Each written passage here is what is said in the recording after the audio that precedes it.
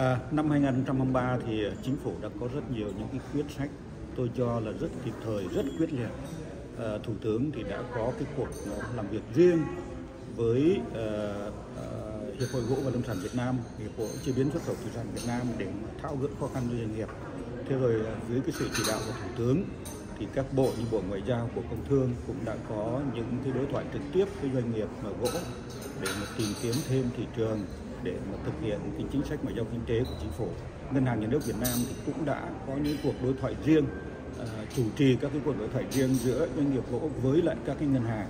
và cũng tìm mọi cách làm sao để tăng cái khả năng tiếp cận, tăng khả năng hấp thụ vốn tín dụng. Uh, thì tôi cho rằng đấy là tất cả những chính sách vĩ mô,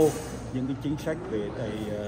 uh, tài chính, tiền tệ hay là những cái chính sách nhằm tăng cường thúc đẩy thương mại của chính phủ thì nó cũng đã một phần nào đấy hỗ trợ cho cái doanh nghiệp gỗ. Tuy nhiên uh, thực sự thì trong cái cơ chế thị trường những cái can thiệp những cái hỗ trợ về chính sách thì nó cũng uh, có uh, cái tác động ở mức độ nhất định còn hầu hết thì chúng ta đang phụ thuộc vào à, thị trường và người tiêu dùng. Cho nên là thực sự là doanh nghiệp thì cần phải nỗ lực rất nhiều.